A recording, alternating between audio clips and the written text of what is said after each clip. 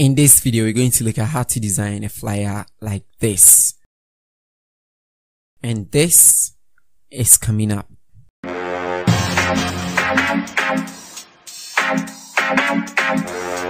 Hello everybody and welcome to the channel once again. Thank you so much for clicking on this video. If you're new here, please hit on the subscribe button if you're old here. Thank you so much for showing up. So yeah, a link to download the resources will be in the description. Please check it out. So I grabbed some images from Google. I'm going to put some text on it and then basically this flyer should be ready. This is going to be pretty simple. So let's get into Photoshop. Here we are in the magic world of Photoshop. The first thing that we're going to do is we're going to create a new document. So you go to file and then new. If you're using CC 2018-1920, you should know what to do.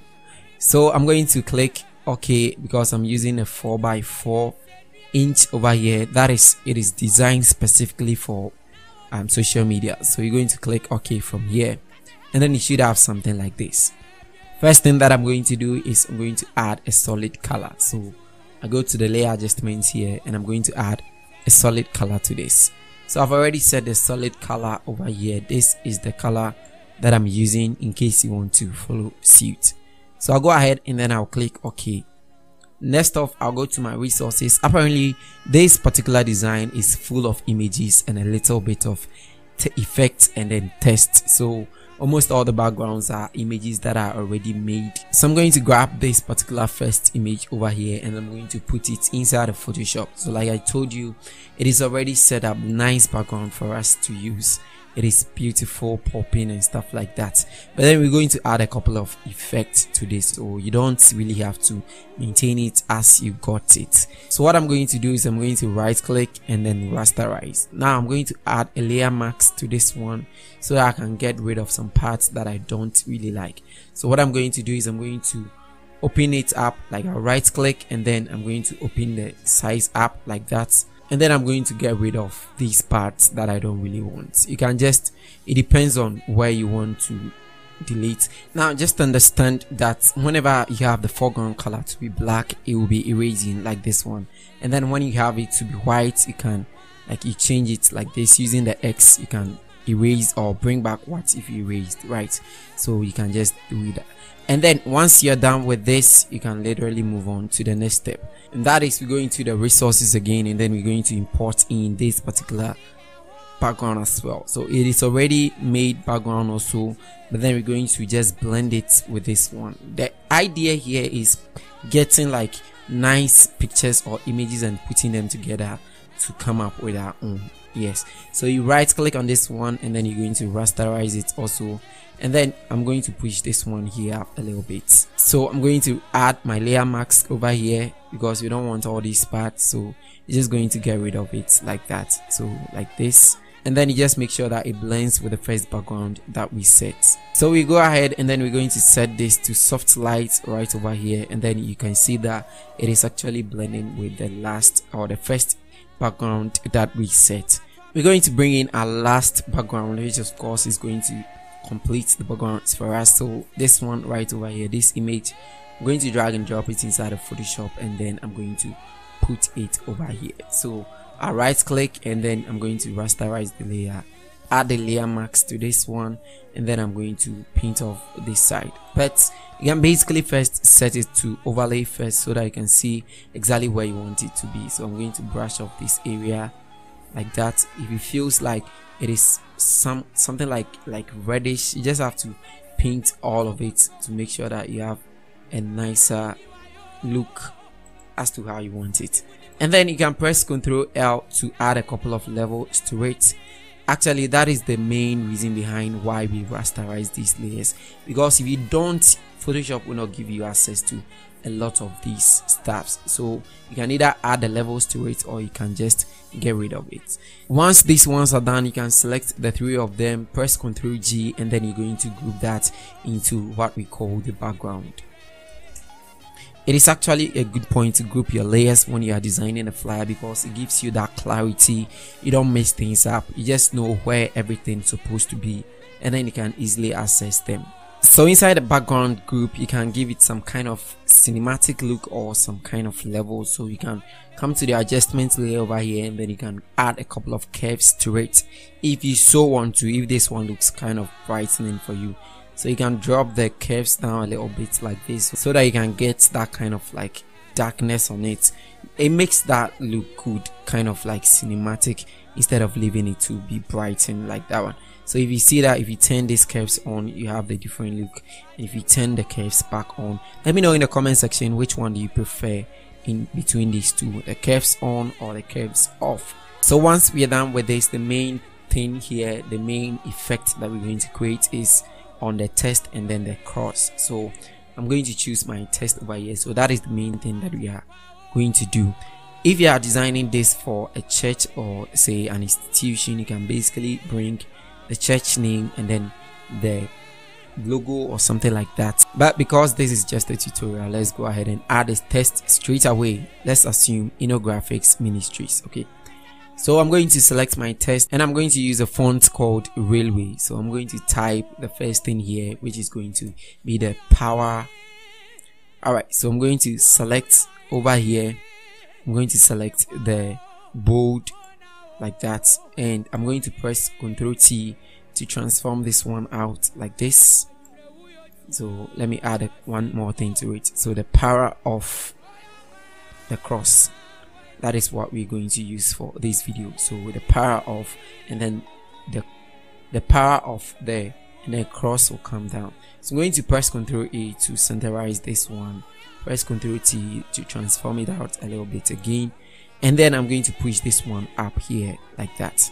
I right click and go to the blending options. I'm going to add because it is almost blending with the background. We don't want it that way so we'll add a stroke to it. And then we're going to change the color of the stroke to white. And then boom we have this one like that. I think with this one you can see the text even from behind.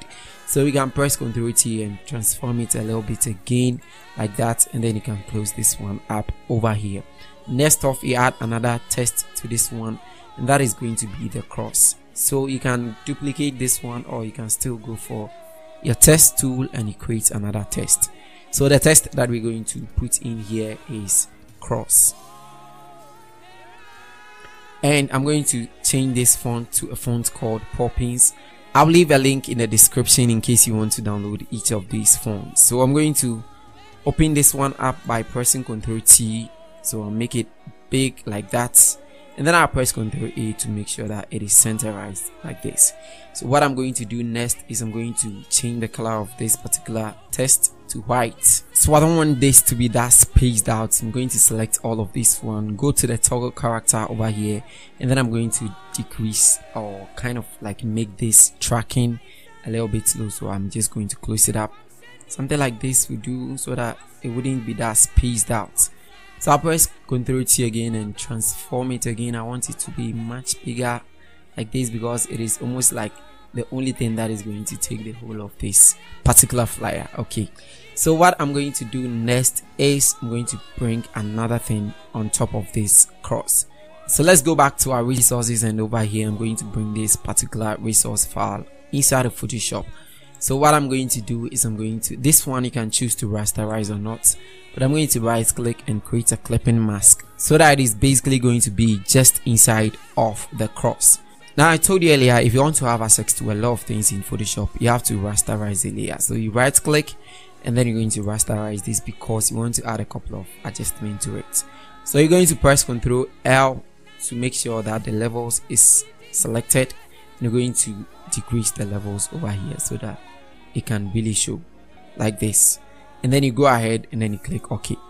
Now what we're going to do next is we come back to the cross and we're going to add some couple of effects to this. So what you see in the thumbnail is not actually a 3d so you right click and go to the blending options and we're going to add just two layer styles to this. So the first one be the outer glow. So you check this one out. And this is the color that i used. So i'll paste it right over here.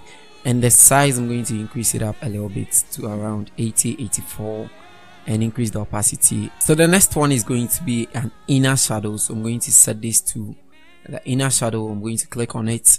And everything is going to be remain as it is. 0 0 over here. We just want this inner shadow around it. So basically this is not like a 3d test as you see it in a thumbnail or something like that. It's just a couple of things put together to make this look really good so beneath this particular cross i want to put another image to fill this all over here. So i have this particular image. It is in the resources this particular image. I just brought it in and cropped it out. So I'll send it inside of Photoshop. And then it is going to be underneath of here. I love this particular sun that is showing over here. It makes it look popping and stuff like that. So I'll press Ctrl T to transform it out. Make sure that the cross is showing. And then I'll press Ctrl L to add a couple of levels to it so I drag these levels up to this side. Then I'll click OK. I'll go for my eraser tool and then I'm going to erase this part you can basically use the masking but we don't really need that at this time. So once it is done like this everything looks good and clean. We can move ahead to add the scripture to it. So on top of this one i want to add my text but then i'll first add this particular small rectangle here i'm going to change the color to this particular color white. And then i'm going for my test tool. So I'll go for the test tool over here. And then you realize that when you bring it here it wants to pick the test of the cross. So I'll bring it way down. I've already copied my test so I'm going to paste it over here. And then it looks clean from here. So I'll press ctrl T transform it out a little bit to make small like this. And I'm going to drag it up over here. Now you can select both the rectangle and the the text and then you're going to close it up. You shift it over here so that you can have your alignment to be on point. So after i'm done with this i'm going to select from galatians over here to the power. And i'm going to press ctrl g to group that and i can name that main. So once we're done with this the last aspect that we're going to work on will be around here the footer everything that you basically want to bring over here. So i'll start off by selecting my rectangle tool over here i'll create a rectangle I'm going to change the color by double clicking on the layer thumbnail and I'll change this to the color white. Once I'm done with that, I'll go for the rectangle tool again. I'll create another rectangle like this and I'm going to right click, go to the blending options and then I'll add a gradient overlay. So I'll go to the gradient pack and I'm going to select this one that I used. So once I'm done with that, I'm going to click OK and then I'll make sure that this is set to reverse so that the color that kind of the brightening one will come on top here. And then I'll click OK we're done with that. So inside of this one if you have like the date or venue that is where you're going to put that one. So I'll go for my text tool. And then I'm going to type 10th April.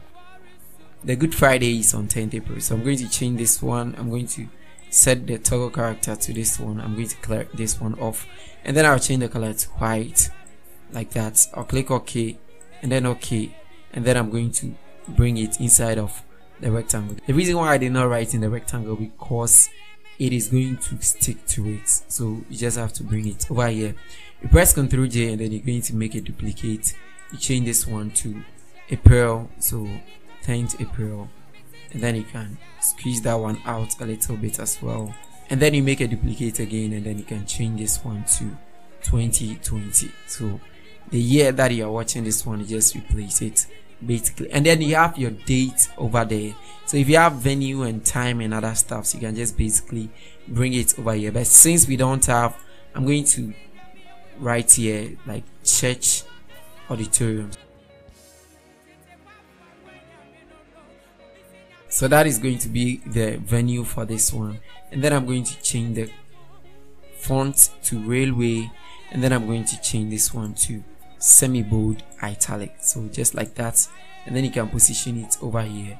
You press ctrl t and then you can transform it out like this. And lastly i'm going to add a text on top of this white background so i'm going to select it. And i've already copied the text so i'm going to paste it like that. The color i'm still using the color that we use for the background so you press ctrl t. And then you can transform this one out like this and then you can leave it over here. So let me transform out a little bit more. And then you can have it over here. So leave your good friday or easter message inside of the comment section. I'll read all of them. This is mine to you um, on this particular good friday and easter. This is what i have for you. And basically yeah that's it. If you have any other thing that you'd want let's say if you have had like a lot of information to put on this one it would have occupied all these places and it will make it look much more awesome than this one. But then these are the information that i have and what i came up with. I hope this video was helpful and then it gave or sent out a message to someone out there. And don't forget to group your works as well. That will be pretty much it. Thank you so much for sticking around to watch this video. Please don't forget to like and subscribe and then i'll see you guys in the other one.